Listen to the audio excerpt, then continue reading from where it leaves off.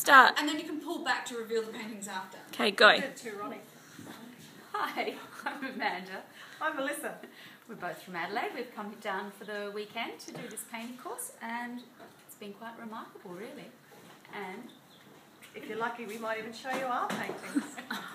Have you painted? These. Have you painted before? no, so you've done this in one day.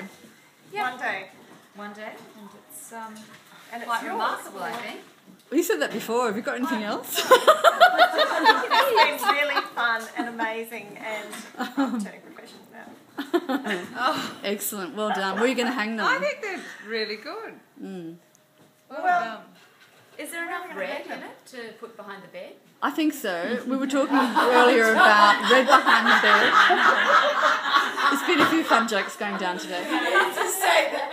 Um, but red behind the bed apparently ensures um, lots of sexual activity, according to the principles of feng shui. Okay, So it's up to you. If, That's it's, where if it gets too pop much, you know you have to I move think it you'll to to turn it around when you want a good night's sleep. Thanks, girls. Yeah, Thank sorry. you. It's been great. Oh, did, we, did you see, have a good look at the paintings? Yeah, you got a picture? Do you want to go up close on each of them? Oh, ah. This was, was the wrong way around. They, do you want me? Do you want to take them home, or do you want me to dry them and bring them up Adelaide for you? Oh, I need to take it home.